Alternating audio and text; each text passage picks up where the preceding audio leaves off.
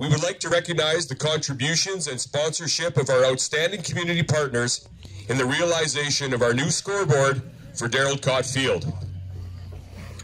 Coach Kot was the longtime coach of the Eagles program who nurtured generations of young athletes, teaching them not only the skills of the game, but also his passion for the game of football. In the year 2000, we honored Coach Kot by renaming the old Eagles Aerie Field in his honor.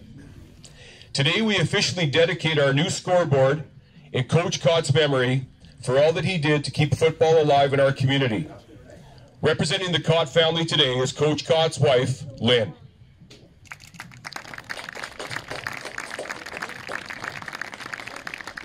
The new scoreboard for our field would not have become a reality without the generous contributions of time, work, materials, and money from our community sponsors.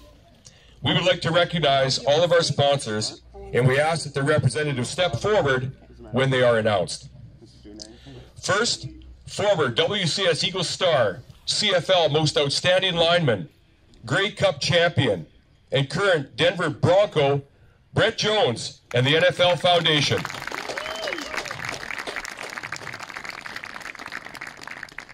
We are so happy to have Brett and his wife Amy here with us today. With the NFL season in full swing, we were expecting Brett to be represented by his mom or dad, but Brett unfortunately suffered an injury in the preseason, so he is home for a couple of weeks before his rehab starts up.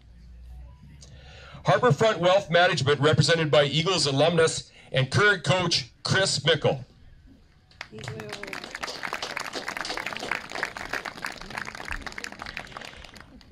Souris Valley Industries, represented by former Eagles star Mike Bell.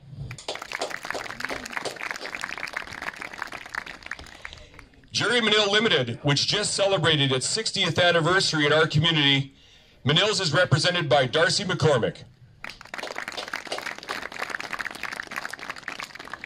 Prairie Lightning Electric, represented by Eagles alumnus Dan Goulash. A&B Concrete, represented by Bill Volbrecht. We would also like to mention Stewart Steel, Mryglod Steel and Metals, and South Sask Rathole as sponsors to our new clock.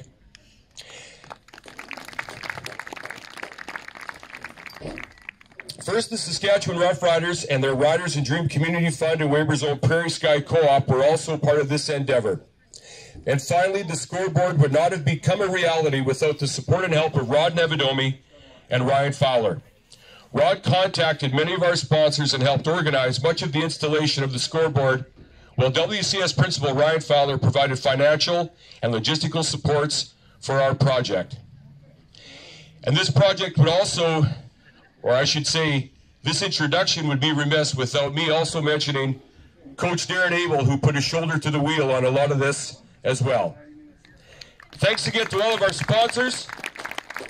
The scoreboard will be a long-lasting legacy for our football program, our school, and our community. Thank you once again.